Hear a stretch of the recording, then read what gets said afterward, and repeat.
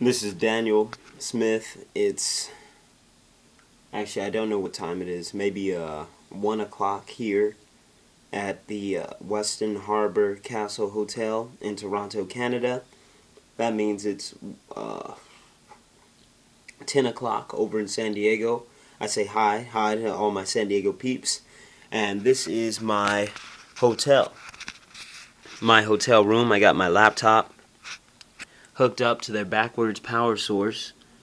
Uh, different, we have a, a phone, presumably Canadian.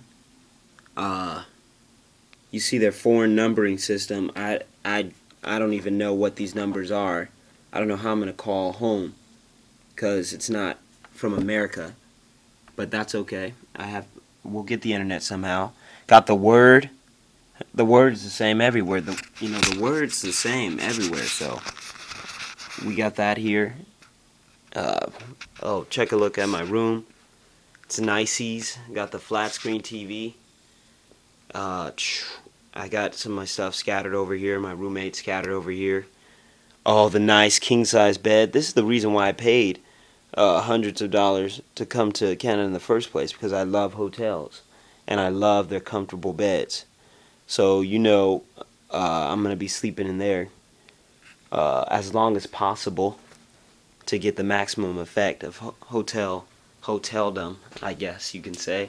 This is my uh, closet for some of my suits, my niceys, my shirts and everything. Mm, got the mirror, I guess, up and down, looking around, and of course the bathroom. It's nice we won't be in here too long. Toilet, bathtub, shower. It's really good. Is this is a nice room?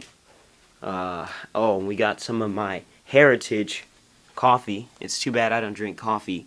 Africa Kitamu. Uh, or even some Tazo. I'm assuming that's African as well. So Canada knows how to embrace how to embrace diversity uh, in terms of race, I suppose and uh, they must have assumed and known I was coming, and they know I ain't no punk. I get mine, so um, they did give me mine, and I appreciate them for that. Uh, more to come later.